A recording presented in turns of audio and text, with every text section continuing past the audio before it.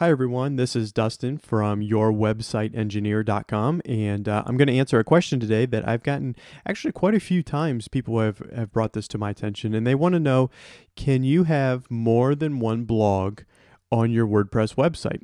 And the answer is no. You can only have one blog. That's the way WordPress works. However, you can trick your users into thinking that you have more than one blog. So right now I am showing you a live look at my demo site and I've just put this together to put together some tutorials and to show you exactly how you can do different sorts of things.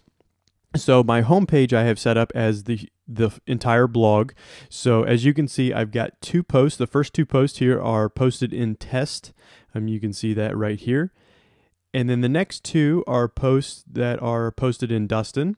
You can see that right there. And the last one is just the default um, post by WordPress, and it's put in the uncategorized position. You can see that I have what it looks like one blog, but it's got all these different categories. So how are we going to go about doing this? If you go to your dashboard, you can see I still got five posts and I'm using three different categories. So what we're going to do is we're actually going to put tabs or menu items to direct them directly to a category.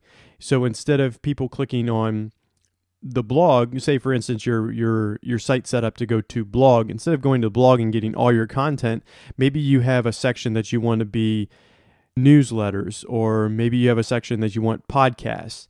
You can all do this um, for exactly the way that I'm going to show you.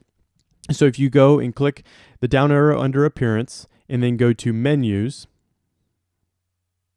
Okay, so I'm not using the custom menus for WordPress, so we want to go ahead and set that up real quick. I normally call this main menu and uh, just go ahead and create that menu.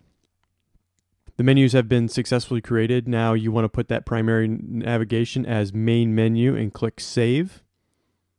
And then you want to bring menu items to your menu. So I only have one page on my site, so I'm going to go ahead and add that to the menu. And then I'm also going to link the home page right here as part of the menu structure as well. So we'll call that home and we will put that in demo dot your website engineer.com. We'll add that to the menu. If you've never used the menu structure, it's really pretty neat. You can just drag and drop and put things exactly where you want. Okay, but now we want to have we want to show that we have two different blogs. So I'm going to add the two different categories that I want to show that I have two different blogs for.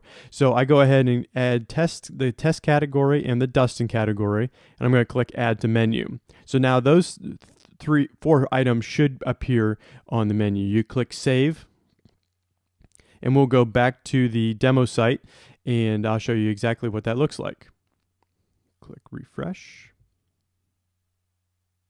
Okay, so now we're at the home page and as you can see, the homepage looks identical to what it did. These are all the blog posts. So this is this is like the entire blog is under home. But if we go to test, there should only be two categories in here and there are two different posts and there are the one one post is number two and one is number one and if you go to dustin you can click there and you can get post number two and post number one so you can go ahead and you can set up these different categories if you want to have like a podcasting section and a blog section and you want them to appear completely different, that's what you need to do to go ahead and make it look like you're using two different blogs when in reality you're only using one. I'm Dustin Hartzler at yourwebsiteengineer.com.